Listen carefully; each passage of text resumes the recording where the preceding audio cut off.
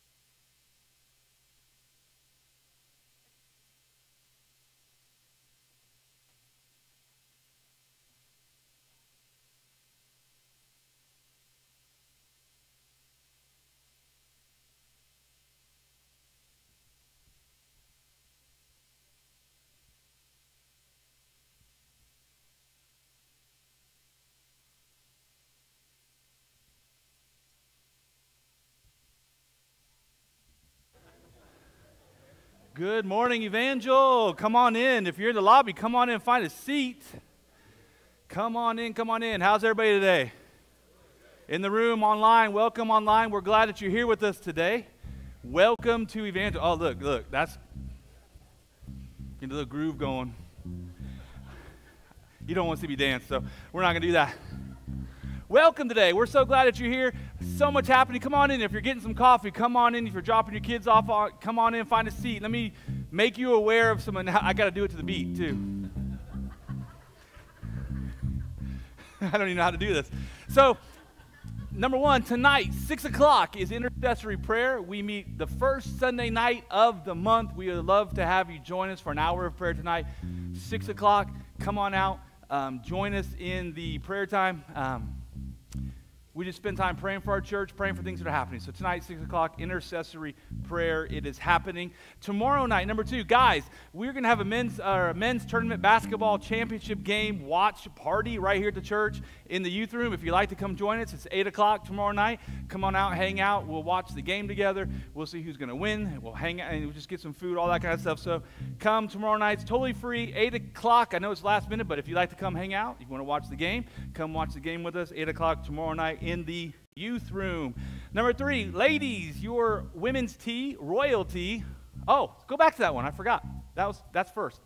Welcome to Pastor Arrow. We are excited that he will be with us this Wednesday night. So, students, students, this Wednesday night, seven o'clock, we're gonna have a welcome party. Excuse me, Pastor Arrow and Hope will be here as well. And uh, this Wednesday night, 7 o'clock, we have a party for students. You don't want to miss it. Come hang out. We're going to have some food and games and just fun time together as we greet them. Also, they got engaged. So, congratulations if they watch this later. They got engaged, so they're getting married end of June. So, congratulations to Pastor Arrow and Hope.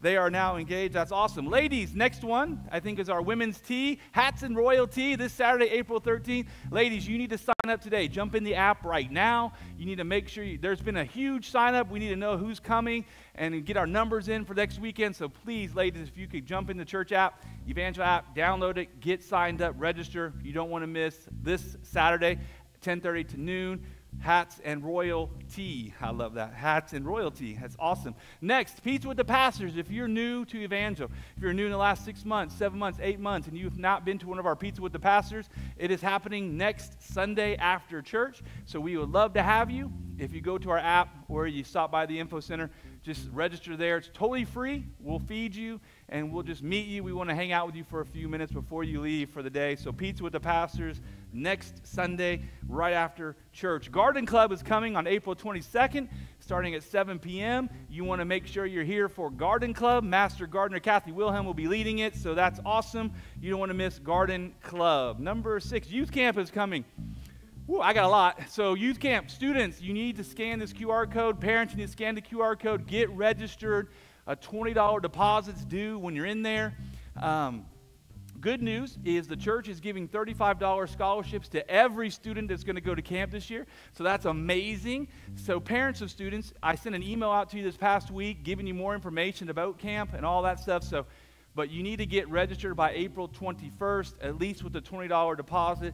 So make sure you get that signed up and get and take place of that, which leads me to kids camp is next, and it's coming June 23rd. And Pastor Jeff has more information about that at the kids check-in and all the registration for that. Embrace Service Day. I told you, you got a lot. April 25th, if you come help us at Embrace to serve and to help them, it's an organization that we support here. Thursday, April 25th. You want to make sure you see and get involved with that. And finally, this is my last one, I believe is Evangel Apparel. We are selling brand new Evangel Apparel. It's custom. There's a lot of samples out there at the info center, but you can pick and choose. If you go into our church app, scroll down, you'll see Evangel Apparel. You can select that, and then you um, can pick. I want this color. I want a long sleeve. I want short sleeve. I want a crew neck hoodie. Blah blah blah. You can pay for it all. Now, if you like what's out there, we have a very few limited supply of what's out there you can buy it today. If you like to, if your size is out there and you like that design, feel free to pay for it and take it with you. And uh, make sure you wear it proudly and don't act dumb when you're wearing Evangel Wichita stuff, okay? Deal? All right. don't cut that person off and say, love you. in Jesus' name. Or be mean to the server and, hey, I go to Evangel Wichita. um, all right. Would you stand with this place? We are excited to be in church today. Isn't it good to be in church this morning? Come on. Somebody look at your neighbor and say, I'm excited to be in church today. Wake up. Wake up. Everybody wake up. All right. Here's what we're going to do. Last weekend we had Easter. We celebrated the resurrection, didn't we? But the truth is, here's the secret we celebrate resurrection every Sunday. We celebrate resurrection every day. That's what we live. That's how we live when we follow Jesus. This is the exciting part. So let me read Psalm 140, 60, and let's get our minds ready, ready for worship this morning, because I want to be ready for what God is going to do, how He's going to speak to us this morning. Amen? You ready for this? Here we go. Praise the Lord. Praise the Lord, my soul. I will praise the Lord all my life. I will sing praise. That's what we're about to do. How about that? I will sing praise to my God as long as I live. Do not put your trust in princes, in human beings who cannot save. When their spirit departs, what happens? They return to the ground. On that very day, their plans come to nothing. Blessed are those whose help is the God of Jacob, whose hope is in the Lord their God. I don't remember how far I went. I could keep reading. Oh, he is the maker of heaven and earth, the sea and everything in them. He remains what? Let's say that one more time. He remains. Lord Jesus, we come before you today, and we are ready to praise your name today. We are here to counter your presence. We are here to speak, to hear you speak to our hearts. God, we love you and we praise you in Jesus' name. Amen.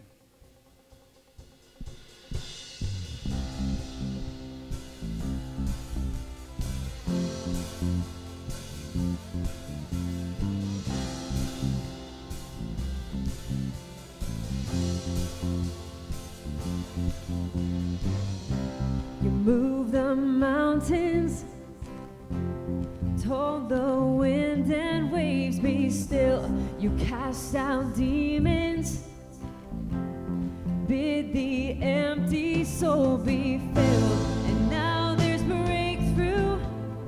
And now there's freedom in your name. You gave us power and the keys to do the same. Hold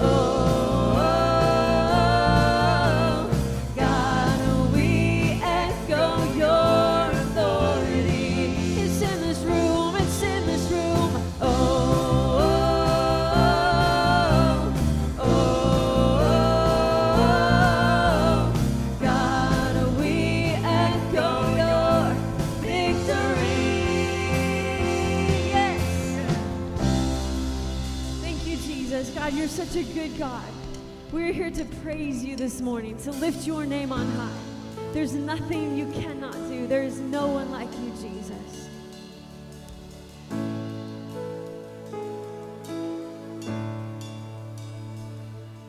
There's no way that I'm giving up on the edge of my breakthrough. I've walked long enough to know there's a grace for me that's still enough, and a hope that I cling to, even in the lowest lows.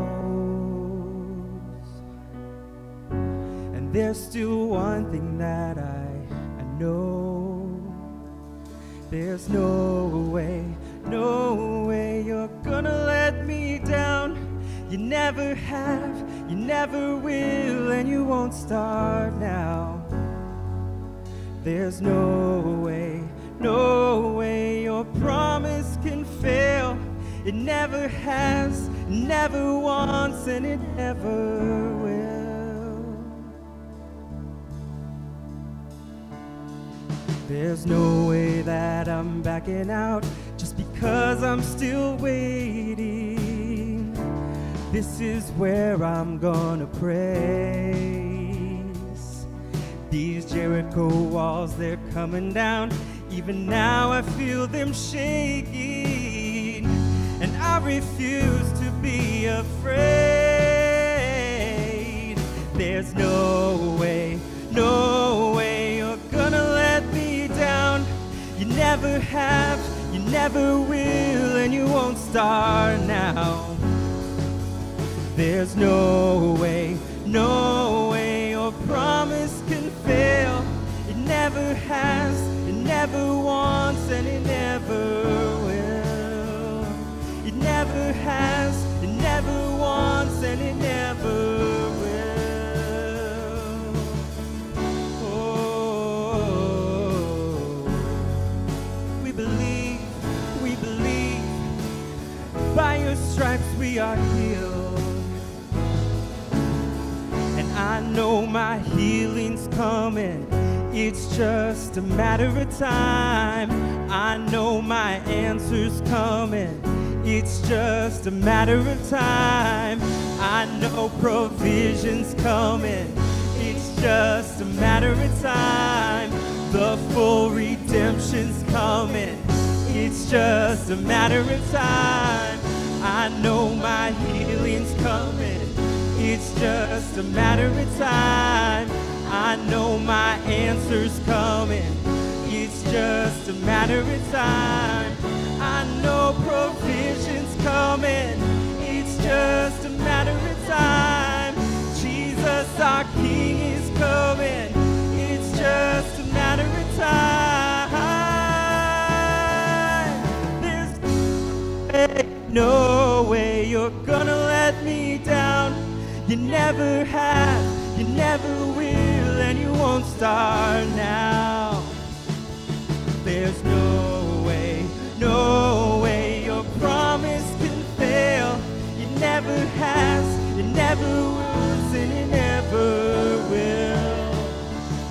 And there's no way, no way you're gonna let me down. You never have, you never will, now. There's no way, no way your promise can fail. It never has, it never wants, and it never will. It never has, never wants, and it never will. I know my healing's coming. It's just a matter of time. I know my answer's coming. It's just a matter of time. I know provision's coming. It's just a matter of time. Jesus, our King, is coming. It's just a matter of time.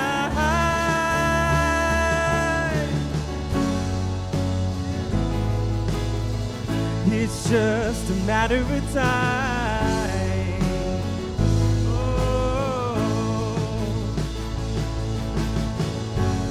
on you. We wait on you.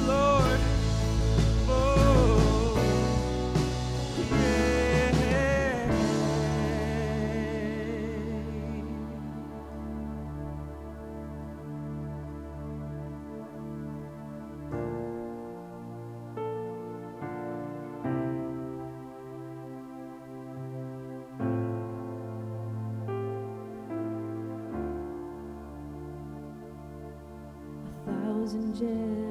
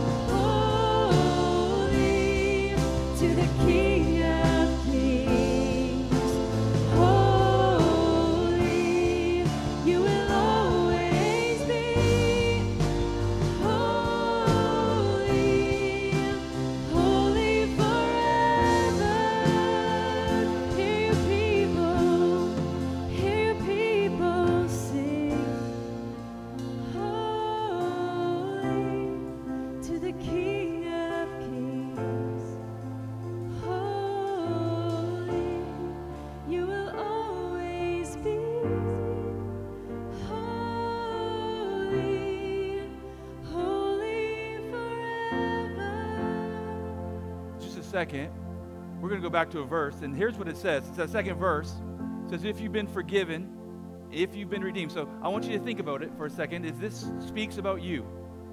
If you've been forgiven, if you've been redeemed, sing the song forever to the Lamb. If you walk in freedom, if you bear his name today, sing the song forever to the Lamb. Now, I want you to take an inward look. We're going to go back to sing that verse right now, and then we're going to go in and sing Holy, Holy Forever. If that's you, I don't care if you have a good singing voice, I want you to sing. Don't worry about your neighbor, where, who's around. You just say, if I've been redeemed, if I walk, Mark, you're talking about me right now. I've been, I've been redeemed. I walk in freedom today. There's something to this. All right, maybe two of you, but if you have been redeemed, I'm serious. We're going to sing this out. I'm going to turn my microphone off because nobody wants to hear that either. Got it? I just totally threw a curveball to them, so I'm getting them time to get ready. But we're going back to that verse. Let's sing it. Let's sing it. Let's mean it from our hearts. And if you've been forgiven, and if you've been redeemed, sing a song forever to the Lamb. And if you walk in freedom, you bear His name, sing a song forever to the land. We'll sing a song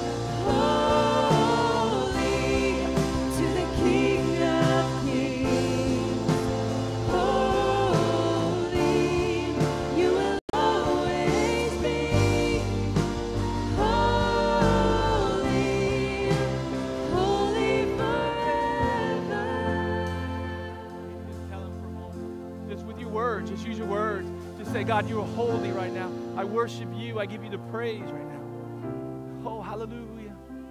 Just give him praise across this room. Hallelujah. We worship you, King. You are worthy.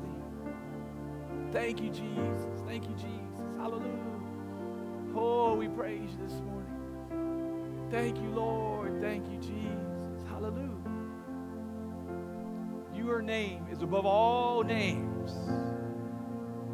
Jesus, the name above all names today.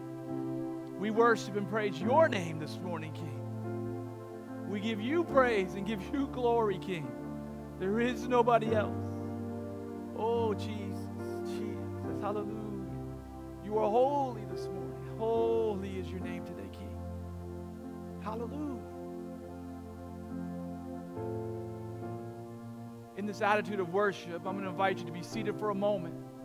I want to remember and take some time with you today to think and reflect together on what Jesus has done for us. Hopefully, on your way in, you were able to pick up some communion elements. If you're watching online, you would find some communion elements. If you need some, quickly raise your hand. The ushers are coming forward right now. They'll have some for you. If you didn't get it, just leave your hand up until you are served. They'll get to you as soon as you, they can. We don't practice closed communion. You don't have to be a member of our church to take communion. Here's the only the only stipulation. We ask that you know Jesus as your Savior. If you were singing that song, you are redeemed, you walk in freedom because of Jesus, you are welcome to take communion with us this morning. Just ask that you hold it also until we're all ready and we're going to take it together in just a moment. I'm going to read from Paul's writings in 1 Corinthians chapter 11. He says these words For I received from the Lord what I also passed on to you. The Lord Jesus, on the night he was betrayed, took bread. When he had given thanks, he broke it and said, This is my body, which is for you. Do this in remembrance of me. Do this in remembrance of me.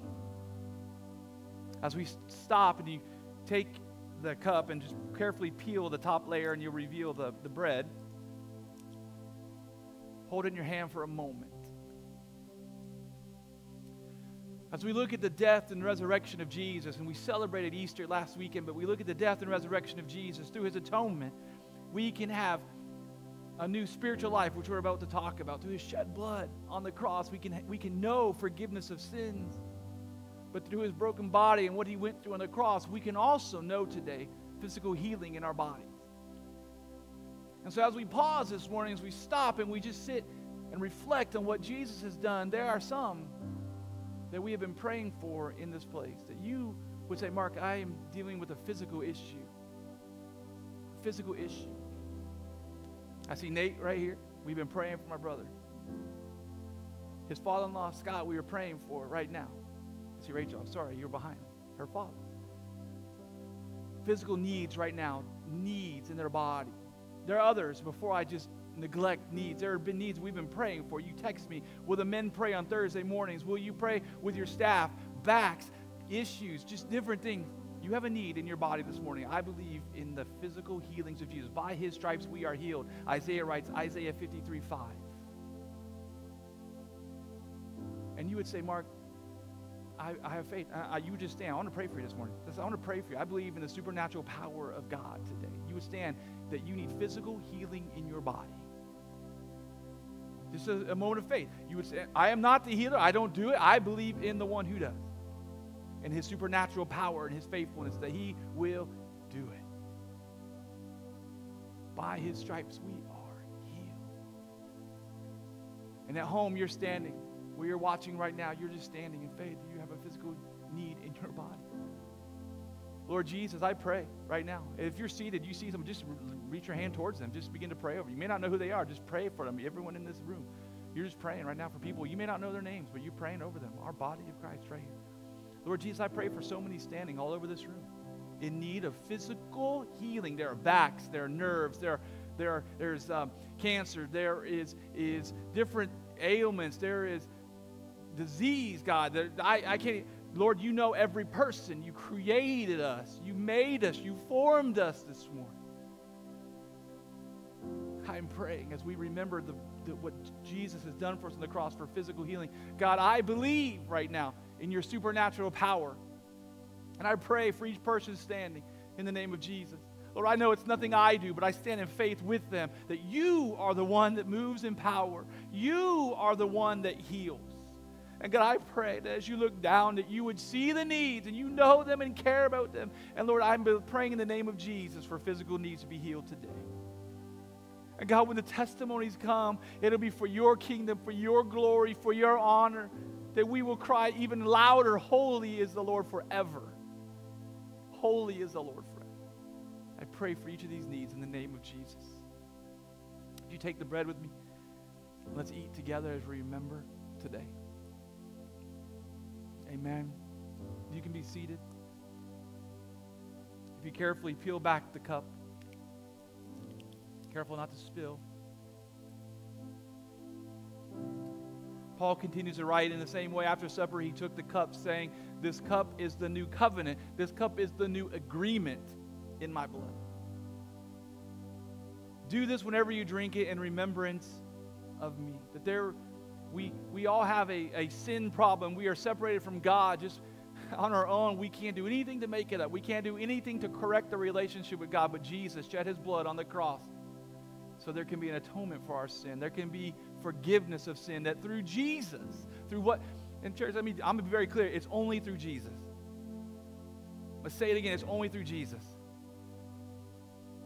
You can quote that on Facebook if you want. It's only through Jesus and his shed blood that we can have life and life to the full. It's only through Jesus. He's the only way to the Father.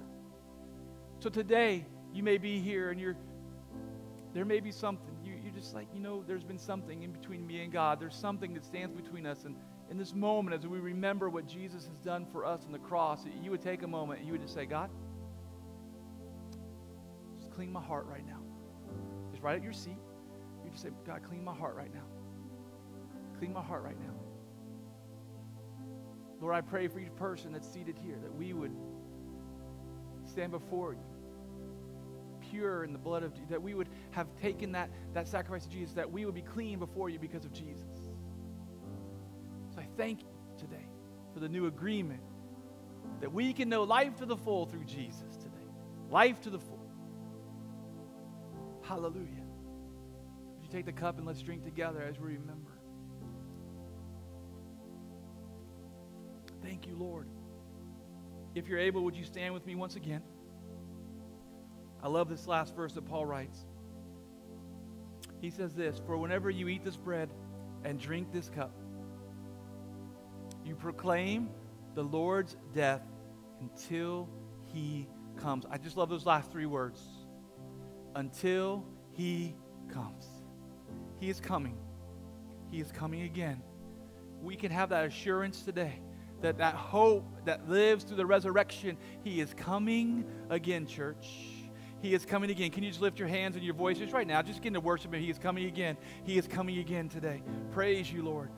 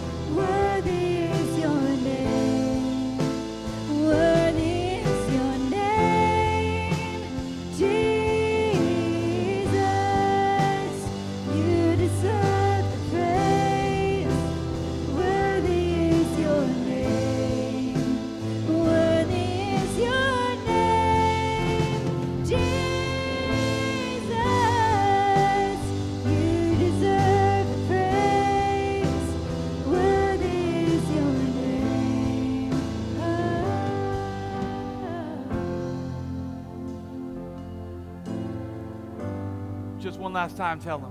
Just tell him you love him.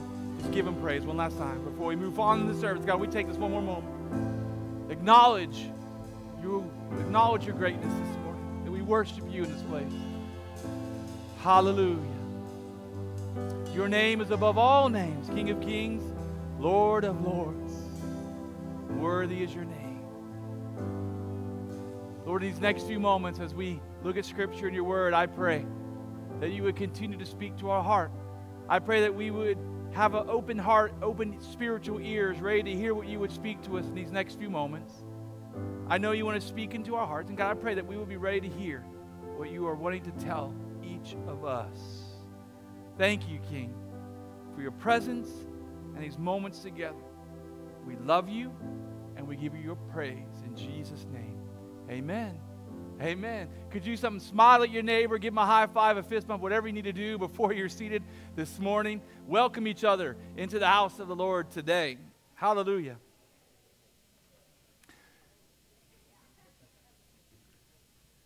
So glad that all of you are here. If you are a guest with us this morning, thank you for joining us today. In the seat pocket in front of you, you'll see a connect card. If you would like to, we would love it if you would connect with us, get to know us a little bit more. So please fill out that card. You can drop it off at the info center on your way out. Um, we'd love to just get to know you a little bit more today. Um, our way of saying thanks for being here. We have a free gift for you. Also, there's a QR code on the seat, box, pack, seat back in front of you. If you like to use that way, and you can do it digitally, uh, that's what they say the cool kids do. So um, you can also go that route as well. But um, finally, uh, thank you for walking in obedience and giving. You, the giving stations are in the back on your way out, and uh, you can mark your tithe and offering on envelopes. If you have cash and checks, um, you can do that. You can also use our Evangel app. It's a very easy way for you to give. I hi, please, please, you need to download the Evangel Wichita app. Everything is in there for you, and you can, sign-ups are easier there. You can give there and all that kind of stuff. But uh, giving stations are in the back if you like to drop off um, cash or checks as well. Or there's a QR code like the cool kids use in the seat, seat backs in front of you. I actually don't know if it's cool kids or not. But um, one last thing, because she told me she'd be mad if I didn't mention it. But uh, Barbara back there, my friend, she just put her head down because she knows she'd be mad if I didn't mention it uh, Barbara Boken turned 95 years young this past week.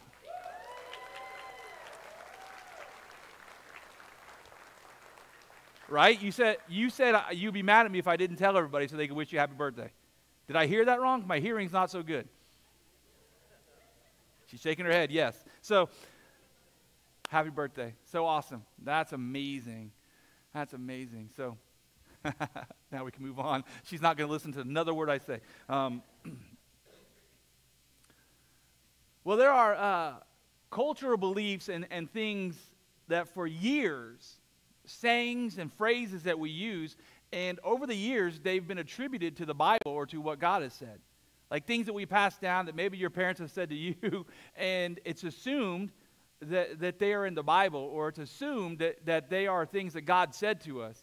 And the reality is, there are things that God never said. There are things that aren't even in the Bible. There are things that are actually good. They may be good phrases and things that we like to hear, or they may help us in things. But for example, God helps those who help themselves. You heard that before? God helps those who help themselves. You know, that's scriptural. Or maybe you've told your kids this cleanliness is next to. That's not in the Bible either. I'm sorry to break it to your, your students and your, your kids. Uh, maybe this too shall pass is something that we think. Um, God works in mysterious ways. It's not maybe a good song, but that's not even in, in the Bible anywhere. Um, maybe this one, spare the rod and spoil the child. The question becomes this, though why are these things so popular? And you can list many, many more, right? Why are they so popular? And, and the second question that may come to your mind is if they're not in the Bible, if God never really said these things, what's the big deal? Why does it even matter if, if, if these things are, are said or if we pass these things down or if we talk about these things? What's the big deal about them anyway? Why does it even matter? Here's the danger in these phrases the danger in a lot of these phrases and beliefs that sound scriptural are sometimes contrary to what Scripture actually teaches. Let me say, sometimes the danger is these phrases and beliefs that sound scriptural are contrary to what Scripture actually teaches. And these erroneous beliefs, these phrases, these things that we say about God and about our Christian walk can actually, in the end, be damaging to our Christian walk rather than helpful. And our goal here at Evangel, we strive to be healthy followers of Jesus healthy followers of Jesus. That in every area of my spiritual life, that I would be a healthy follower of Jesus. As a pastor, that's my goal that you would grow in your relationship with God, that you would grow and move forward and so these cultural beliefs and these phrases that we say, while they may seem innocent and okay, and they may be all right to talk about, they shouldn't be attributed to what God has said and what the Bible says. So we're going to talk about these things over the next couple weeks, and we're going to look at how we should maybe approach them and some of the dangers that may come with some of them.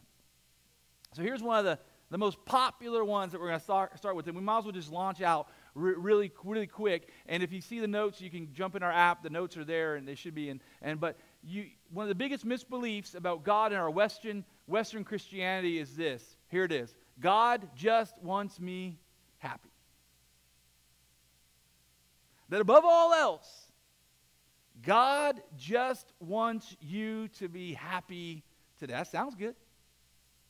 I mean, we could all go home now, right? That's, that's pretty good. We feel happy. There's songs about don't worry, just be happy, right?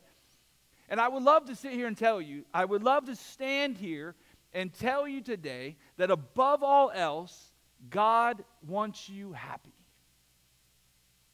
That above all else, God just wants you to enjoy your life. Above all else, that's, that's, his, that's his plan. That above all else, God only wants good things to happen in your life, and God never wants anything bad to happen in your life because the bottom line is God wants you to be happy. And in fact, I could quote scripture for you, and we could just take this verse out of context. Let me read it to you. In Psalm 97 12, it says, May all who are godly be, you can put that up there for me. Next one, next slide. Next slide. Can we go? Is it stuck? There we go. May all who are godly be what? That sounds pretty good. May all who are godly be, say it again, happy. But here's the truth. This is one of the big cultural mistakes in what people believe about God. They believe that above all else, God wants you happy.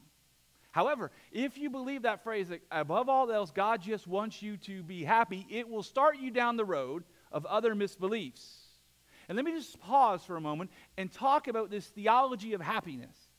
If you believe that God's ultimate supreme goal for you today is your happiness, here is where you will eventually, or what you will eventually start to do if you have this theology of happiness, that that's God's supreme goal, my happiness, um, my supreme, here's where I will go. Number one, whatever makes me happy must be right. It's logic, isn't it? If God's supreme goal is my happiness, some of you are like, well, I believed it until you just said that. Whatever makes me happy must be right. Therefore, the other side is whatever makes me unhappy must be wrong. There's a popular song years ago that says, if it makes you happy, it can't be that bad. If it makes you happy, then why are you so sad? If we have this idea that God's ultimate goal, we believe that this supreme goal of God is that we are happy above all else, then num- number one, whatever makes me happy must be right. Whatever makes me unhappy must be wrong. Number two, if I believe this, I believe then that discomfort, delay, risk, suffering, inconveniences, and obstacles cannot be God's will. If I fall into this theology of happiness, that a supreme goal of God is that I am happy, then I will come to this point where these things cannot be God's will. If something is not going correct, if something is not going right in my life, then it is not God working in my life. Number three, if I believe in the theology of happiness, then I begin to worship the false gods of comfort, money, pleasure, things, etc. All these different things. If I believe above all else that God wants me happy, one day I will get to a place where I worship the false gods of comfort, money, pleasure, things. And here's the danger. Are you ready? If we fall into this place, because it seems so innocent that we would say, God just wants us happy. But if I get to a point where I believe above all else God wants me happy, suddenly I am forced, here's logic for you. If I get to this place, I am forced then to come to a conclusion that God exists to serve me. And here's the truth. I don't want you to miss this. Do not miss this. Write this down if you need to. God does not exist to serve me. God does not exist to serve you. We exist to serve God. Let me say that again. We exist to serve God. That's the danger. If God is just there to make me happy, suddenly I have come to this place. This is where I am. If I get to a place where I think God's ultimate goal is to make me happy, I have come to a place where I have reduced the great creator and sustainer of the universe, the Holy One, who we were just singing about. All those names are higher than anything, all those things that we were talking about. I have reduced that God that we just talked about in those songs to a cosmic Coke machine where I can walk up. You know, the cool ones that have the screens and you can choose all the different flavors when they work? And you can put them all in there and you can pick and choose what you want your Coke to taste like, what you want it to be like. That's what I've created God to be. Oh, Mark, I wouldn't do that. I, but that's the machine I walk up to. I push the buttons and I paid for what I want. And when I pay for what I want, I better get what I want because it's going to make me happy. That's what I've reduced God. I would never do that. And without knowing it, I have reduced God down to some kind of formula. Hey, man, I've, I went to church. I went to church on Easter. I came to church the week after Easter. I said my prayers this week. I read my Bible this week. I gave you a little money. You talked about being obedient and giving. I feel guilty about it, you know. I scanned the QR code. I gave something today. Hey, I've been nice to my parents, students. I've been nice to my parents.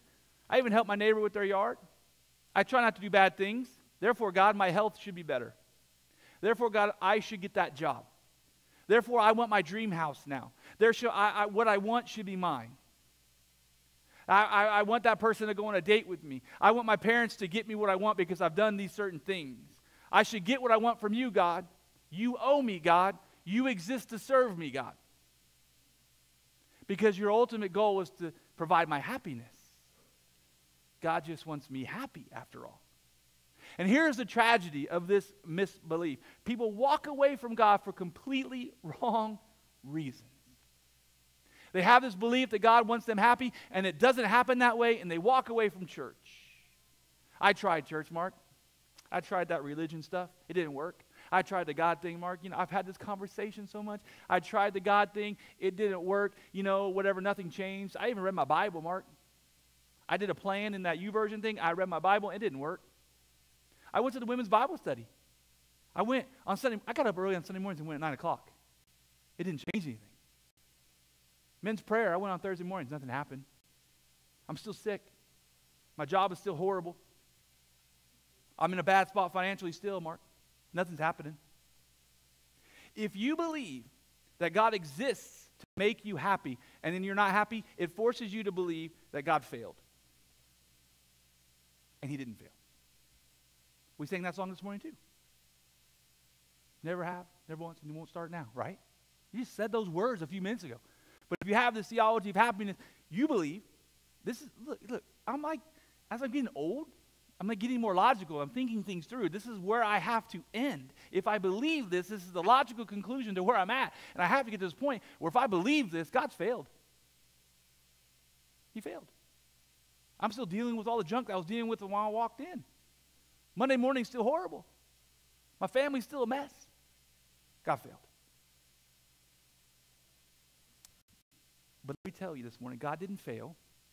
You started with the wrong presupposition and it led you to a very dangerous place. So we need to back up. Now listen, let me, let me don't jump off one side to the other side. I, I don't I know it's been depressing up to this point, but God is saying that God doesn't want you happy. Look, look, look. I do believe God delights in your happiness today.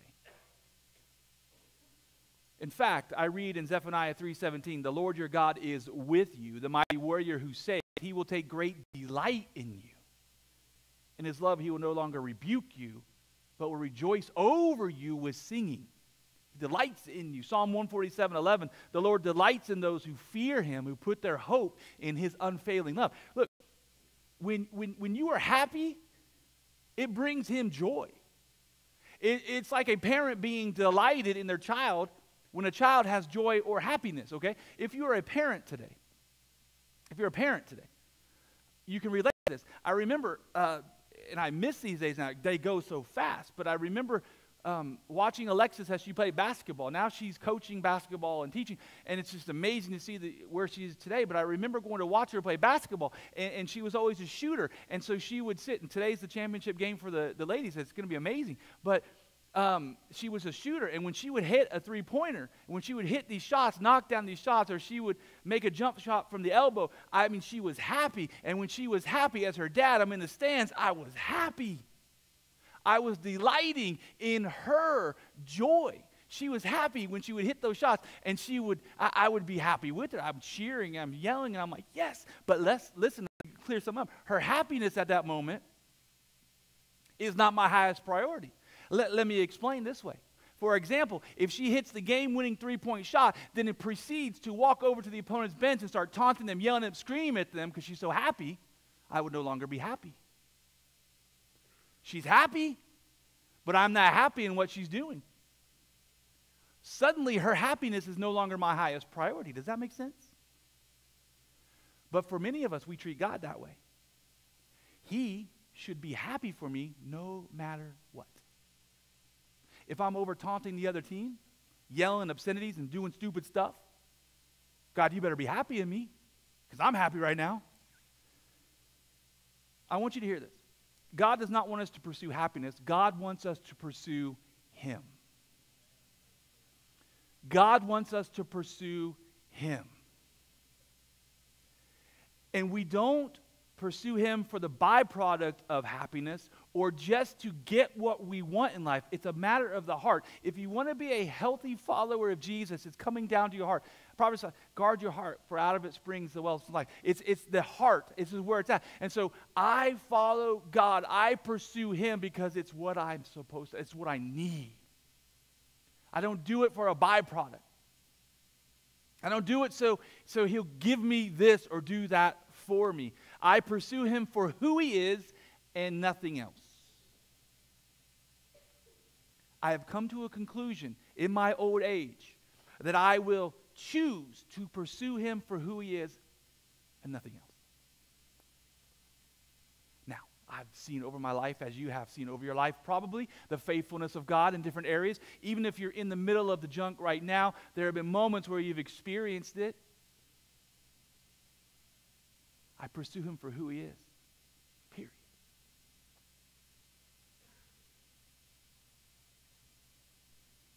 Uh, so I'm going to show you two reasons and then we'll go.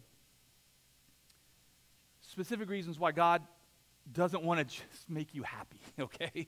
That this phrase, God just wants you happy, is, is wrong. Here's a reason number one eh, God doesn't want you happy when it causes you to do something wrong or unwise. Because remember, we go back to the logical conclusion if it makes me happy, it must be right. If it makes me unhappy, it must be wrong. God doesn't want you happy when it causes you to do something sinful or stupid. Can I just put it that way? That may be easier to understand. You can write that down, guys. You know, God doesn't want you happy when it makes you stupid or sinful, okay?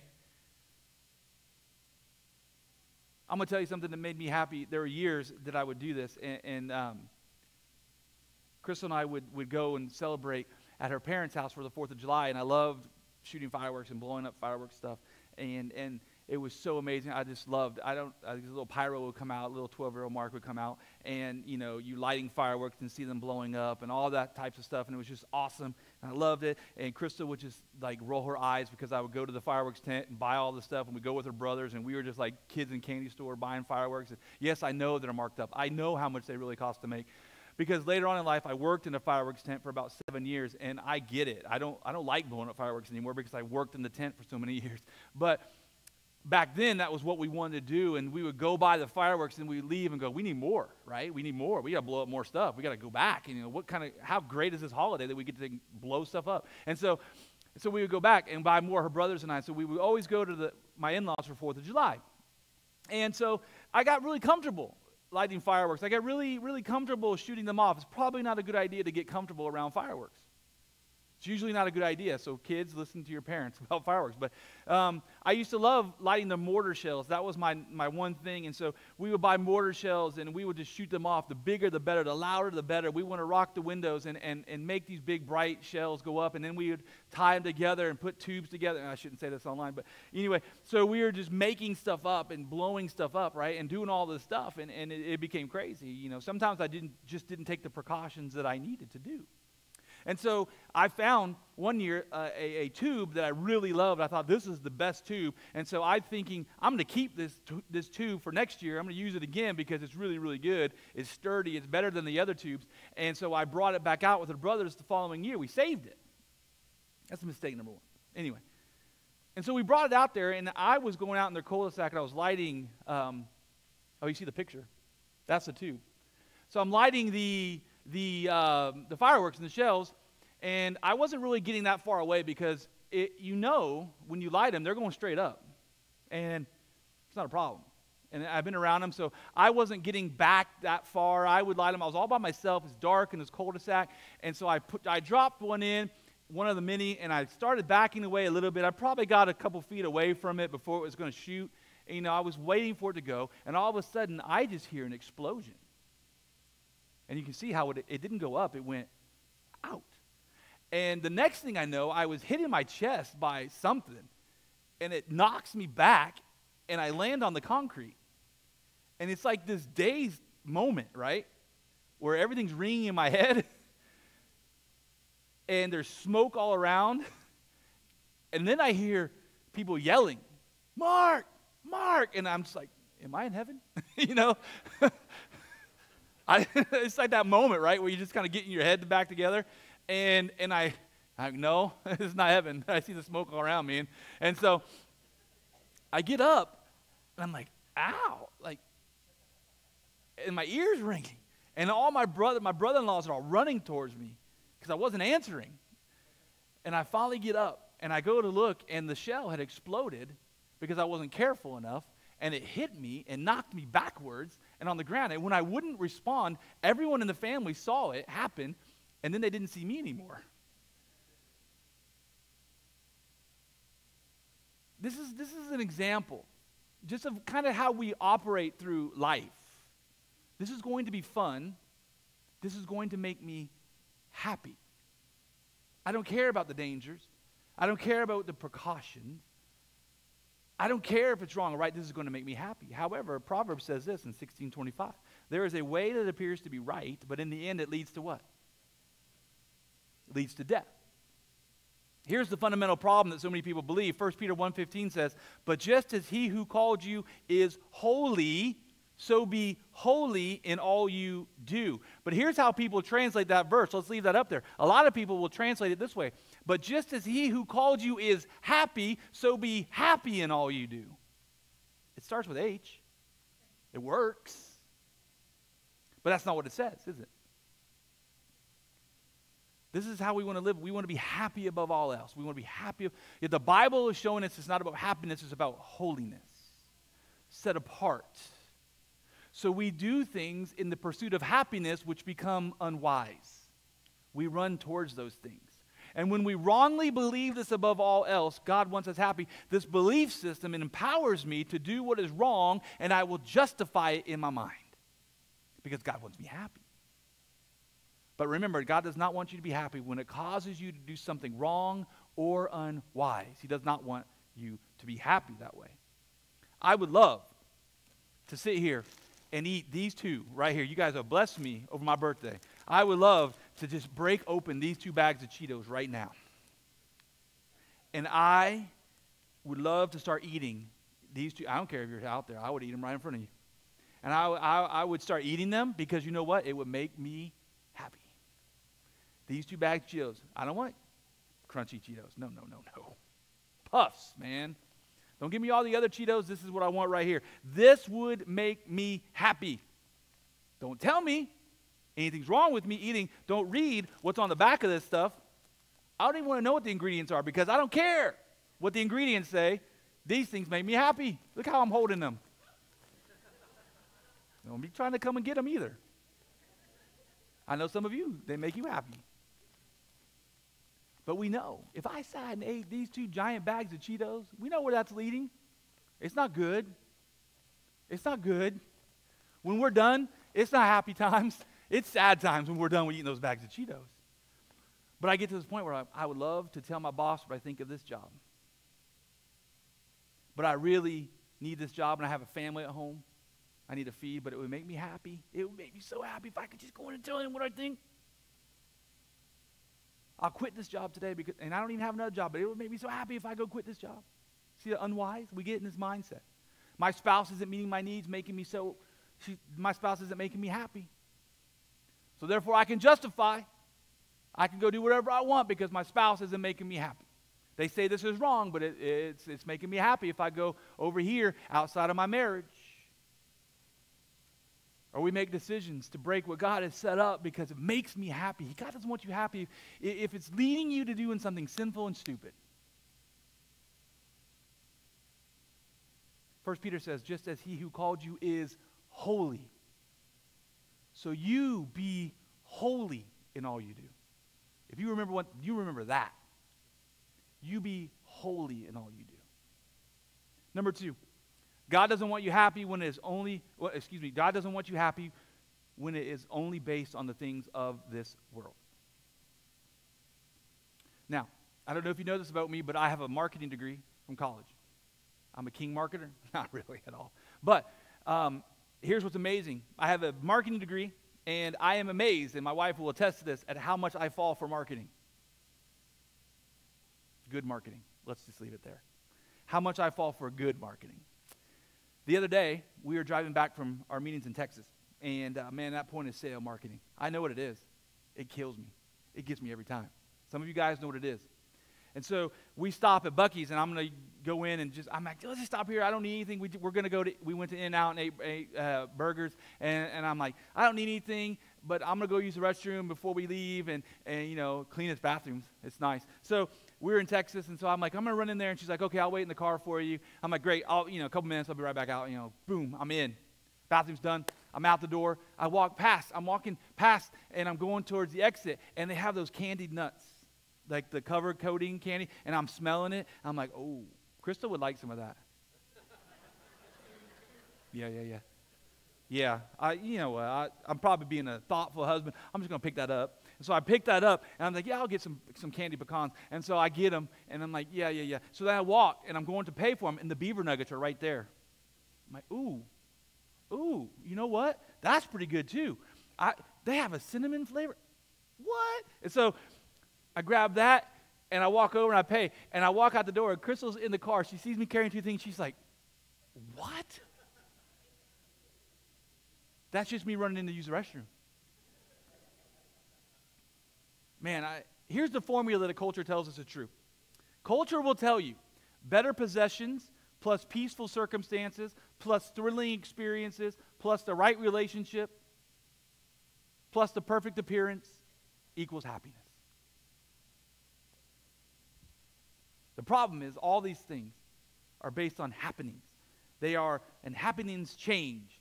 That's why no one is happy all the time in the things of the world because the things of the world are simply counterfeit. This is exactly what the world does. If you get this, if you buy this, if you have this, if you trade this in, then you're going to be happy. Right? Yet you are still not happy. So you go back and you buy this you trade this, you see this, you sell this, you get this,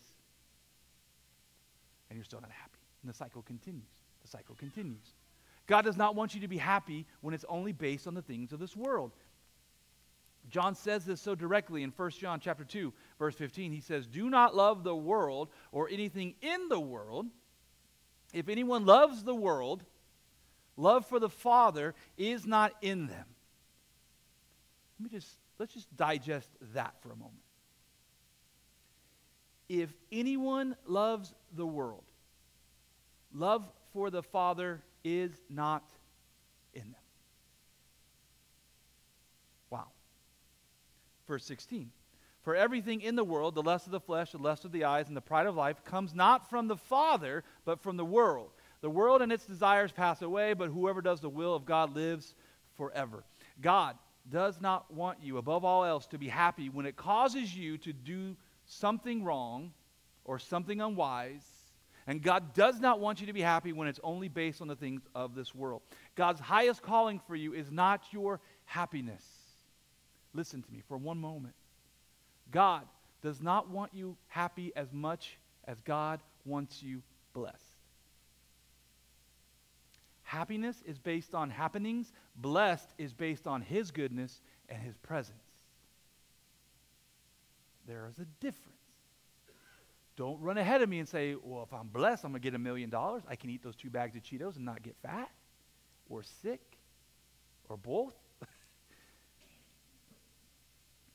the Greek word translated blessed right there means supremely blessed, and it can be translated more than happy. God wants you more than happy.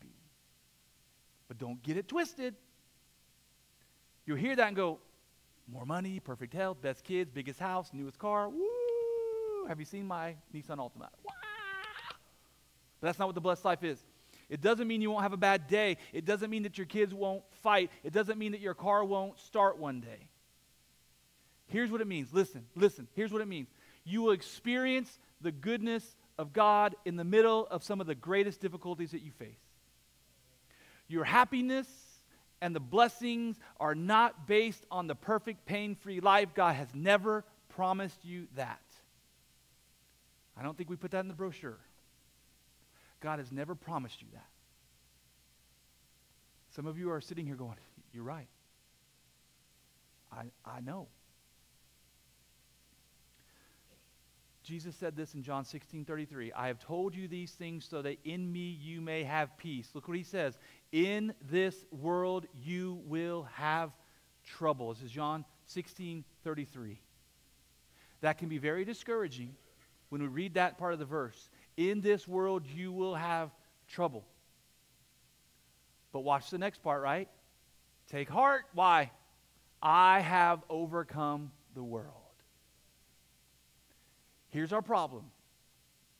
We're looking for this pain free, perfect life, and if we don't have it, then we start blaming God. When the reality is, God has come and wants to be active in our pain filled life because we live in a sinful and broken world.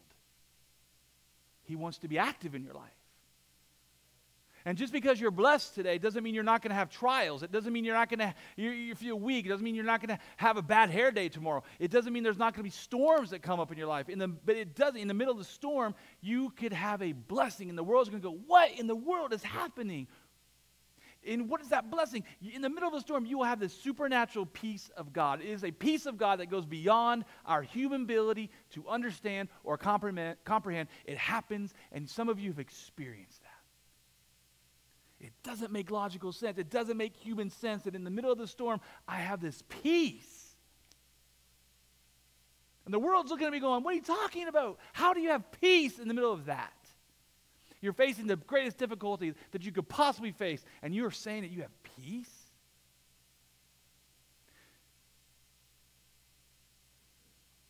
Some of you are in the middle of the storm today.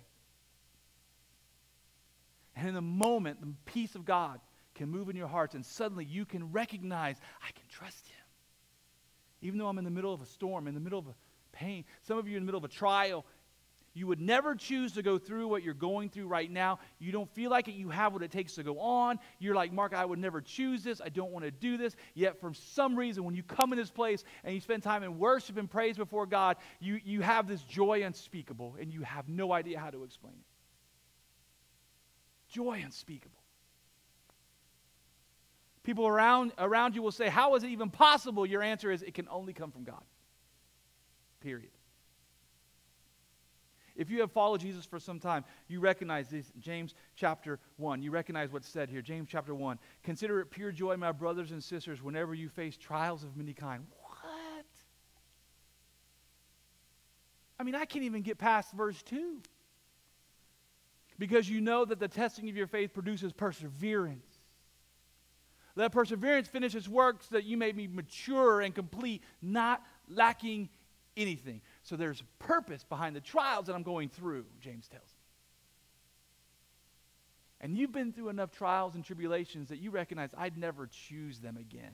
But I am who I am today because God conformed me to the image of Christ. I am who I am because when I walked through this, I knew Him more intimately. There was no choice for me to do but to grab onto Him closely. That I walked with Him more faithfully. I experienced the goodness of God in a way that I couldn't have before a bad day came. But I found His goodness on that day, and I could not have chosen this joy unspeakable that I have. That's the blessing. That's the blessing different than happiness. Different. Psalm 37 4, David says this Delight yourself in the Lord, and he will give you the desires of your hearts. Now, here's, the, here's where we get off. The word for delight is a little deeper. It, it means to delight or enjoy, but also carries the idea of being made soft and pliable. And so here, here's how I would explain this before we go. As we seek God, as we enjoy God, we seek first the kingdom of God and his righteousness, and everything's added on to us, right? Right? As we pursue God, he is the object of our affection. We're not pursuing happiness anymore. We're pursuing God. Suddenly, we are enjoying his presence. We're delighting in him, what we talked about. Then he gives us, it says, not the desires of my heart, but my heart's tied to his heart. So he starts giving me his desires. Does that make sense? He starts giving me his desires. Our desires become his desires. Then I pray, when I pray according to his will, he gives us what we pray for because we are praying specifically for his will. We are praying his desires. And suddenly I'm enjoying God. Suddenly in this moment, I'm enjoying God. I am soft and pliable. I'm becoming conformed to his image, growing, becoming a healthier follower of Jesus. He has given me his desires. I'm now praying not my will, but his will. Now I'm living a blessed life. Not a perfect life, don't get me wrong. Not the pain free, filled life, but something that is better than happiness. It is joy unspeakable, it is peace, It is His supernatural strength that, that when I'm completely weak, it is Him being strong. It is His supernatural life that I cannot explain to you. I wish I could just lay it out. I cannot explain how it works. But suddenly His power, His presence, it carries me. And I've been there. You've been there. Joy unspeakable.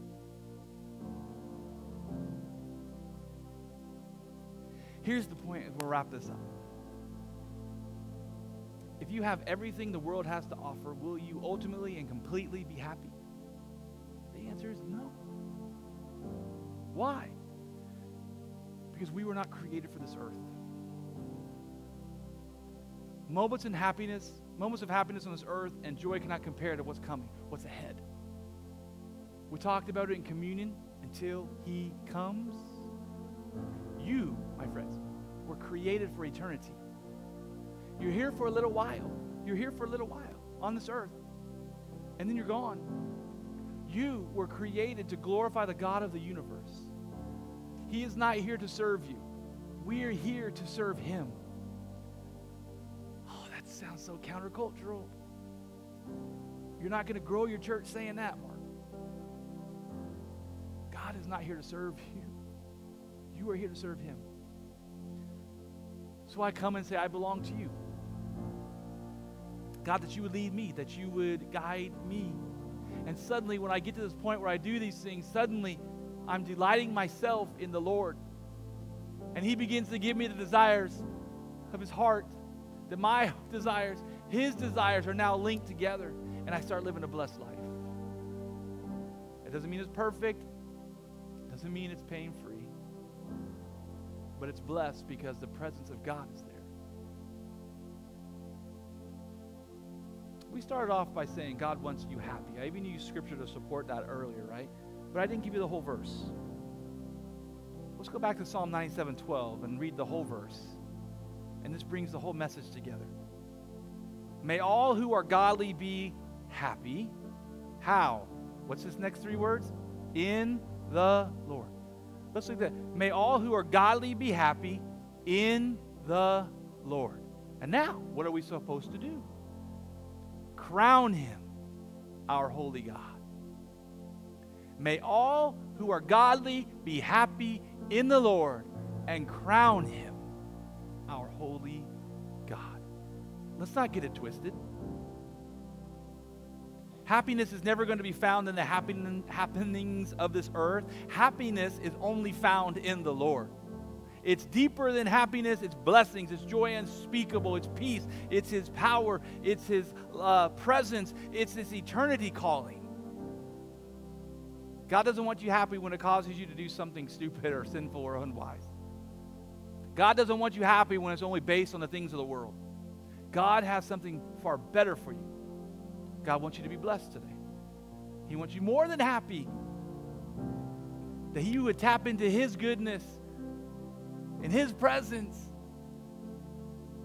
That in everything, God is working together for those who love Him and are called according to His purpose. Amen. God just wants me happy. It's a dangerous thing and belief that we're tempted to jump into. Would you bow your heads with me as we close this time together? Lord, I pray in this moment, as everyone's just seated at home listening, right now in this moment, before we leave, that our hearts will be open to what you would say to us. I don't know, God, where we each fall in what we've been talking about. But right now, I just pray that you would speak to hearts right here that you would take a moment, Holy Spirit, like you always do, that you would reach out and speak into lives today. Right where you're seated, you would just listen to what the Holy Spirit would say to you. How have you been in this area? you expected God to serve you? Have you reduced God to a formula, believing that He failed you? Maybe you need to correct some thinking and belief. Maybe you need to recommit. Just take a moment and listen to what the Holy Spirit would say to you.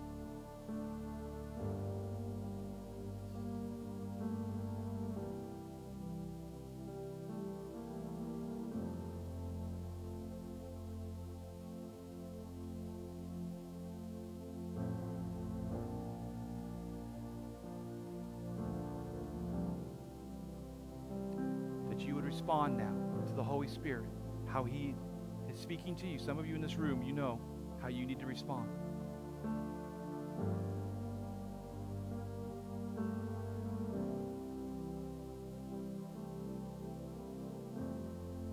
Thank you, King, for your presence. Thank you, King, for speaking to hearts all over this room. I know. Thank you, Lord. Pray that we would respond to your presence.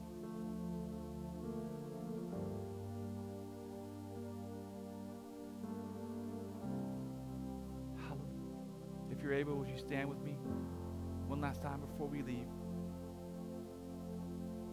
Let's sing this chorus.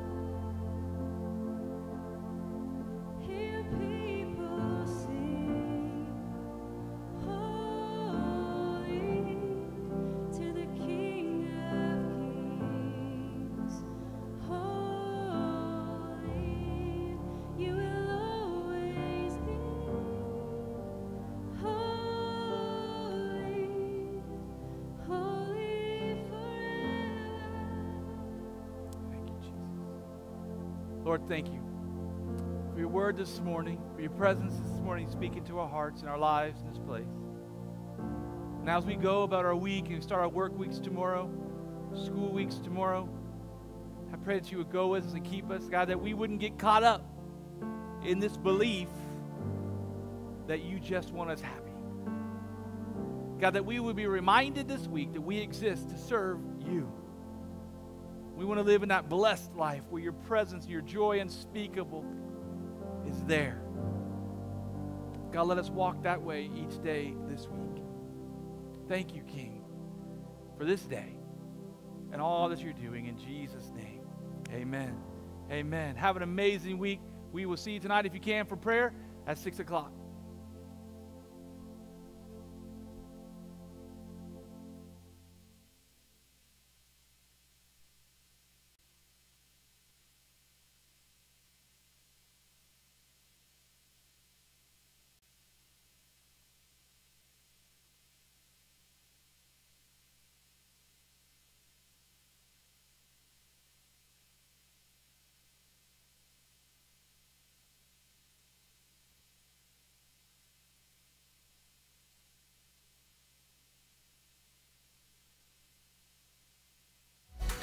Hey, Evangel family, thanks for tuning in today. We are so glad that you were here.